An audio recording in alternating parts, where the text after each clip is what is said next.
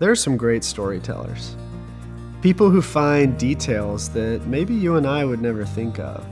Or people with a silky, rich, smooth voice like James Earl Jones.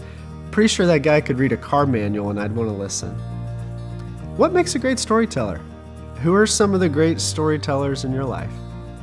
Well, I think one of the greatest storytellers of all time was Jesus, because Jesus' stories invite us to see God and ourselves and each other differently.